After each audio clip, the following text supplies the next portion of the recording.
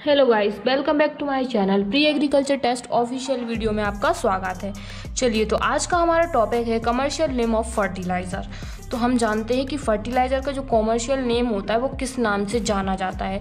हर एक चीज़ के अलग अलग नाम होते हैं जैसे अपना निक नेम होता है, उसी टाइप से फर्टिलाइज़र के भी कुछ कमर्शियल नेम होते हैं, जैसे हम समझ सकते हैं निक नेम ओके तो यूरिया, अब यूरिया को किस किस नाम से कमर्शियल नेम होता है?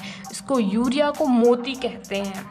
शक्तिमान भी कहते हैं स्वातक उज्ज्वाला भी कहते हैं और क्रिप को भी कहते हैं। तो ये आपको ध्यान रखना है कि यूरिया का कॉमर्शियल नेम क्या होता है? तो मोती होता है, शक्तिमान होता है स्वातक होता है, उज्ज्वला होता है और क्रिप को होता है। ओके गाइस नेक्स्ट है हमारा कि अमोनियम सल्फेट तो जो अमोनियम सल्फेट होता है उसको भी श्वातक कहते हैं और राजा, इसको राजा कहते हैं। ये फर्टिलाइज़रों का सबसे बड़ा राजा होता है अमोनियम सल्फेट ओके इसका कॉमर्शियल नेम राजा है और श्वातिक है। Then C A N CAN calcium ammonium nitrate इसको सोना खाद और किसान खाद कहते हैं, ठीक है?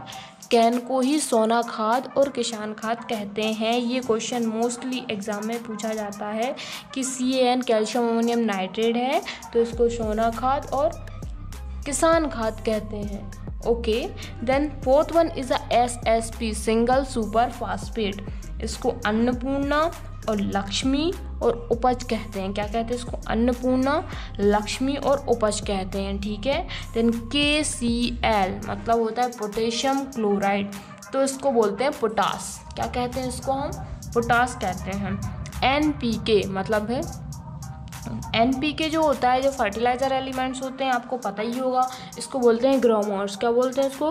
ग्रोमोर्स बोलते हैं, ठीक है? Then seventh one is a mixed micro alkaline okay इसमें हमने क्या कर दिया है कि माइक्रो को मिक्स कर दिया। माइक्रो एलिमेंट्स आपको याद होंगे जो हमने पहले पढ़े थे, जो आठ एलिमेंट होते हैं। फ्रिज में मैंने कल बिस्किट जैसे कि आयरन जिंक मोलिब्डेनम ये सब होते हैं माइक्रो एलिमेंट तो उनको बोलते हैं तारा। ओके सो गाइस आपको समझ में आया होगा। So please like share comment and next video में हम फिर से मिलते हैं। So thanks for watching my video चलिए।